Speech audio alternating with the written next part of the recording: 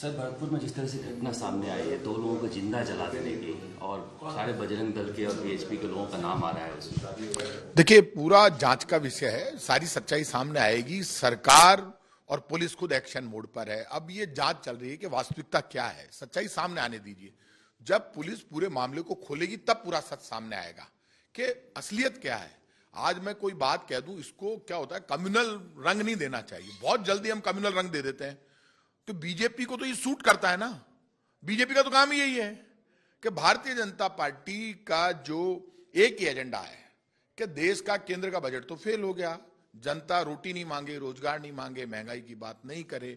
इसलिए हर जगह रंग घटनाएँ होती है अपराध भी होते हैं और अपराध को रोकना सरकार की और पुलिस की ज़िम्मेदारी है। दिल दहला देने वाली घटना ऐसे दिल दहला देने वाली घटना आत्मा हमारी भी रो रही है। जान लड़ा देंगे आप खुद जानते हो। एक भी अपराधी अपराधियों को ठोक कर पकड़ना ये हमारी ज़िम्मेदारी है छोड़ते नहीं है। उदयपुर की घटना होगी कन्हैया लाल को जिन्होंने मारा उनको उसी डेढ़ दो घंटे में पकड़ लिया। गाँव में पंचायतें भी हो रही नो डाउट पंचायतें हो रही हैं लेकिन मैं सब लोगों से रिक्वेस्ट करूँगा कुछ लोग इसको कम्युनल रंग देना चाहते हैं।